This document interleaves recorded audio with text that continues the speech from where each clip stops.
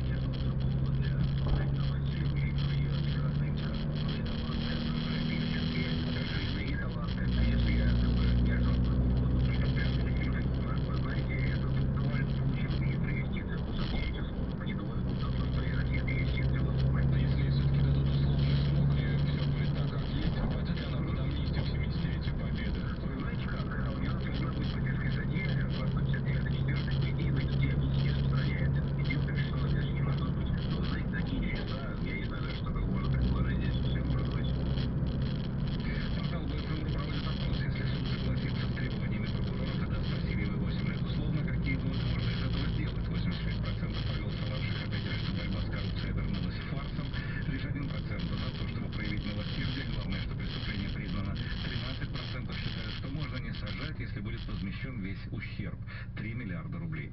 Далее основные цифры с рынка в студии Алексей Завьялов. Валюта. Курс ну, рубля. Уже в вечернюю торговую сессию по-прежнему рубль теряет и к доллару, и к евро, хотя потери не сильные, практически компенсировались они и к доллару. Потери лишь полпроцента и 51 рубль